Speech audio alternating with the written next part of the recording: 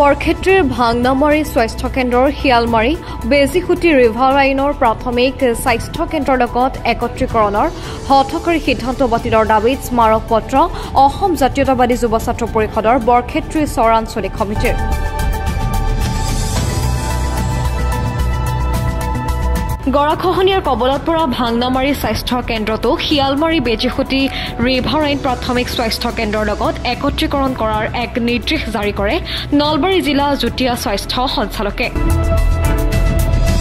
নলবাৰী যুটীয়া স্বাস্থ্য সঞ্চালকৰ একত্ৰীকৰণৰ নিৰ্দেশৰ পাছতেই হাহাকাৰ লাগিছে ভাংনামাৰী ৰাইজৰ মাজত।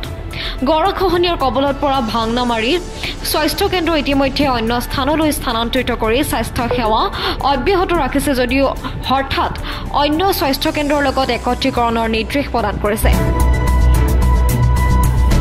সিদ্ধান্ত বাতিল কৰি পূৰ্বৰ স্থানতে বাহাল ৰখাৰ বাবে ৰাইজৰ সহযোগত নলবাৰী জিলা যুটীয়া স্বাস্থ্য সঞ্চালকৰ স্মাৰক পত্ৰ প্ৰদান কৰে অসম জাতীয়তাবাদী যুৱ ছাত্ৰ পৰিষদৰ বৰক্ষেত্ৰী চৰ আঞ্চলিক সমিতিয়ে।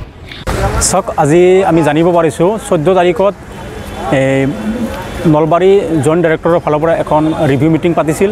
সেই ৰিভিউ মিটিঙো হোৱাৰ পিছত যোৱা ষোল্ল তাৰিখে এখন বিভাগীয় কৰ্তৃপক্ষৰ দ্বাৰা এখন নটিচ জাৰি কৰা হৈছে।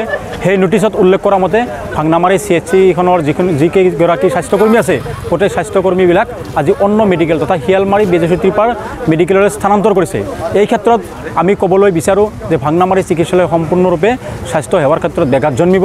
আজি চাওক ভাংনামাৰী ভাংনামাৰী এলেকাত নিয়াৰ চল্লিছ হাজাৰ পপুলেশ্যন আছে।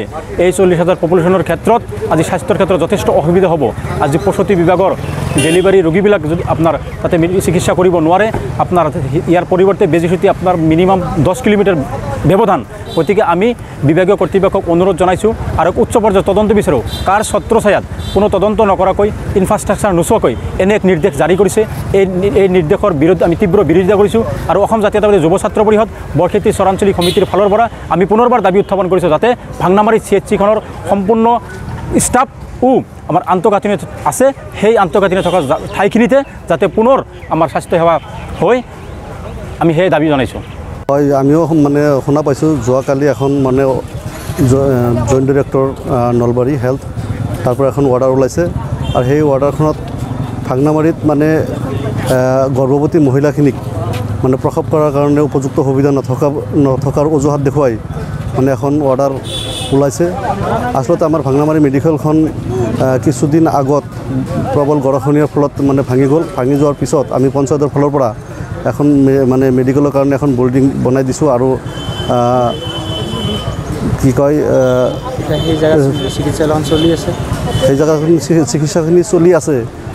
কিন্তু ৰাইজৰ অসুবিধা হ'ব নেকি? অন্য জেগালৈ ল'লে ৰাইজ ভাংনামাৰী বৃহত্তৰ এলেকা। তাত তাৰ পৰা যদি মেডিকেলৰ কৰ্মচাৰীখিনি যদি বেলেগ জেগাত হয়তো স্থানান্তৰিত কৰে ভাংনামাৰী ৰাইজে মানে ডাঙৰ এটা মানে সমস্যাৰ সন্মুখীন হ'ব। কাৰণ ভাংনামাৰী এনেকুৱা এটা জেগা য'ত হয়তো মানুহ বাৰিষাত নাও নোহোৱাকৈ মানুহ ক'তো যাব নোৱাৰে। চাৰিওফালেদি নদী আৰু নদীৰ মাজৰ অঞ্চলখিনি। সেই অঞ্চলত অঞ্চলত যদি মানে মানুহখিনি যদি উপযুক্ত মানে চিকিৎসা সেৱা নাপায় মানুহ যথেষ্ট পৰিমাণে বিপদগ্ৰস্ত হ'ব। গতিকে ভাংনামাৰী যিখন চি এইচ চি মেডিকেলখন আছিল সেই মেডিকেলখিনিৰ ষ্টাফখিনি ভাংনামাৰীতে ৰখাৰ কাৰণে আমি হয়তো আজি আমাৰ মোকালমোৱা চাৰ্কুল অফিচত অফিচত আহি হয়তো আমাৰ ডি চি মহোদয় মহোদয় আহিছে। তেখেতক আমি আজি এখন মেমৰেণ্ডাম প্ৰদান কৰিলোঁ আৰু আমি জোৰদাৰভাৱে ভাংনামাৰীৰ ৰাইজৰ হৈ আমি দাবী জনাইছোঁ আমাৰ মেডিকেলখন ভাংনামাৰীতে থাকিব লাগে বুলি।